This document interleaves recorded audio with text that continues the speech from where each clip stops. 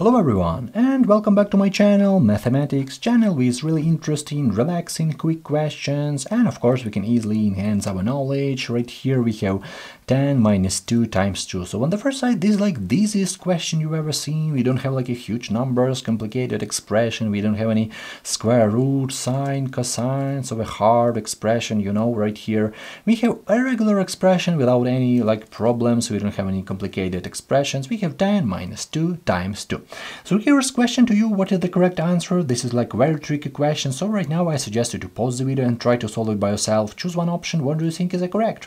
Right here we have option A, option B, option C, so three options, so let's try to solve it together. We will check our answers in the end of the video, but right now I suggest you to choose one option, what do you think is a correct answer, and write your option down into the comment section, we will check our answers. Okay, here's our question, here's our option, and let's try to solve it.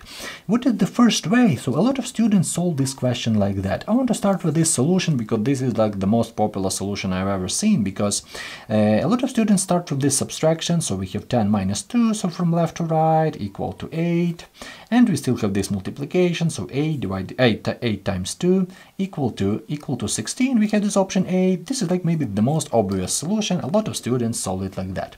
But one really important moment. So in math we need to know what is the correct order to do this problem. So we cannot go well, like from left to right. So it's not work like that. In math we need to know what is the correct order to do this operation. For example we have a lot of math operations like division subtraction addition. So we need to understand what is the correct order yeah? Because whatever order of operation we select is going to create like a different answer. So we need to understand what is one and only one correct order of operation.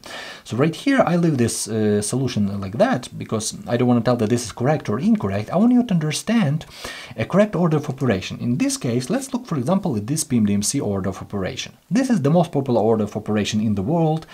All internet libraries, scientific graphing calculator works according to PEMDAS. Okay, and right here we have this order of operation, but I want to say I respect every order of operation, for example, board BODMAS, for example, PEMDAS, and whatever order of operation, I respect it, but in this case, let's uh, let's uh, check this PEMDAS, it doesn't matter, PEMDAS, BODMAS, in this question we will have like the same answer, so it doesn't matter what order of operation.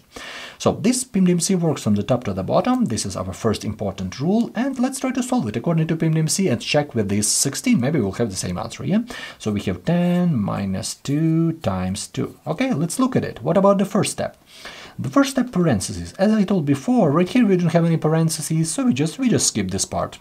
As we don't have any brackets, any parentheses, so we just we just skip this part, which is really great for us, because with parentheses we need to start from this, we don't have it, and it's really good for us.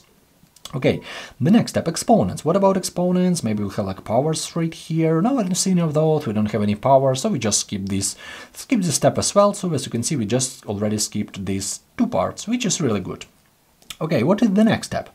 The next step, multiplication, and a lot of students do this mistake, they say, okay, multiplication, but uh, according to PEMDAS, multiplication is uh, with this division group, yeah? So multiplication and division, this is one common group, okay? This is really important step. So we need to scan where do we have multiplication and division sign. Let's look at it.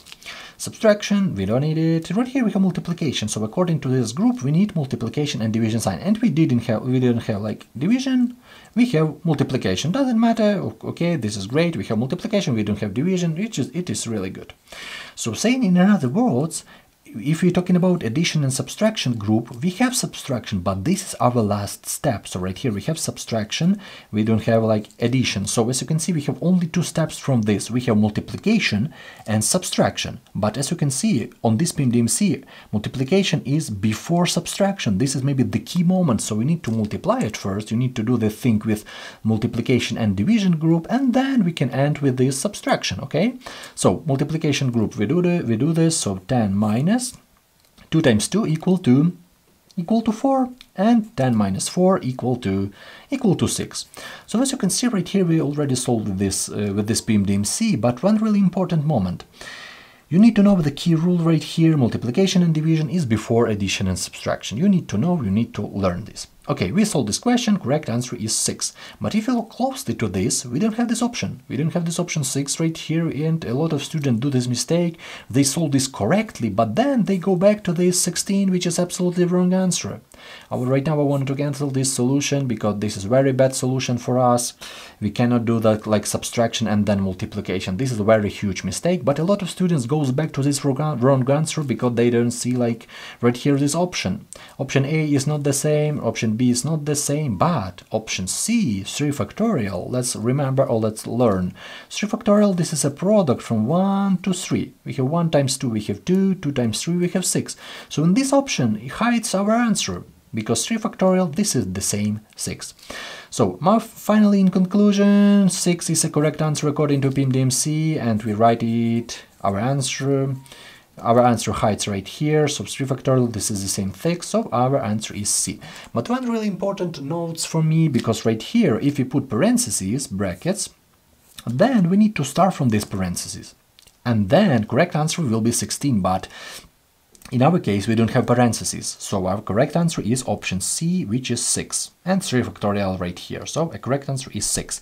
But with parentheses, correct answer is 16, because we need to start from this parenthesis, this is our first step, and then if you have parentheses, we need to start from this. So I hope you understand my thought about it, I hope your, your answer is the same as mine, but definitely don't feel bad if you got this wrong, this is like maths, we need to learn, we need to remember, we need to learn something new.